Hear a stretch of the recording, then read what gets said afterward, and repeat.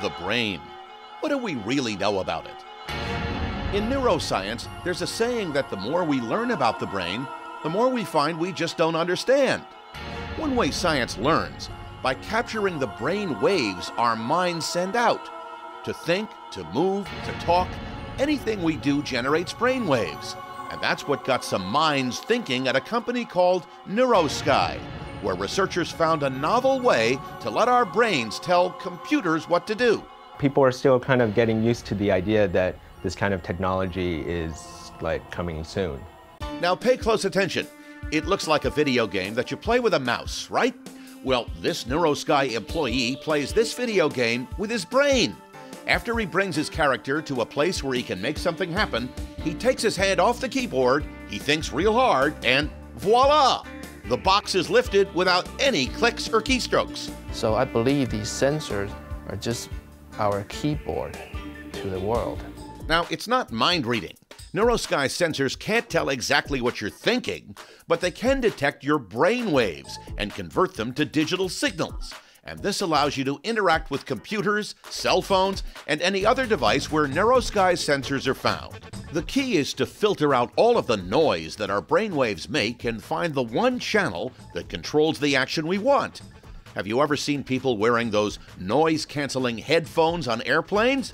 Well, that's a good example of how NeuroSky's technology works. Our neurons in our head fire. We do, we, when we think we move, our neurons actually um, emits this very low level signal, uh, electrical signal. So our sensor detects that signal. The technology gives a whole new meaning to the term mind games. Click on the drum in the center of the screen and then concentrate on it. That's right. You've got it. Keep on concentrating.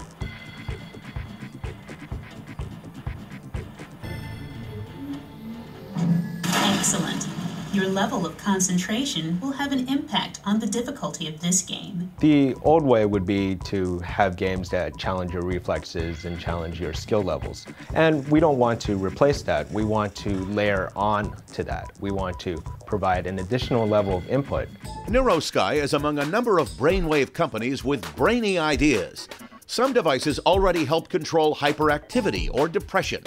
Some users in Japan use their heads to turn their GPS equipped cell phones into life saving devices. By the time you have a heart attack, it's hard for you to dial 911 if you can't move. So people uh, use our sensor built into the cell phone and they put it in their front pocket near their, their heart area. And when they have a uh, detects a heart condition, it automatically dials 911 or the equivalent of 911 in Japan. Working in the neuroscience field can have its pluses and minuses. For example, how the heck do you explain to other people what your product actually does? Most times when I tell people that uh, I work on neuroscience, it kind of confuses them. It's not a very good line at the bar to tell girls.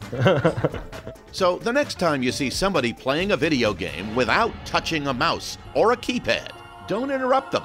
The computer is just listening to their mind.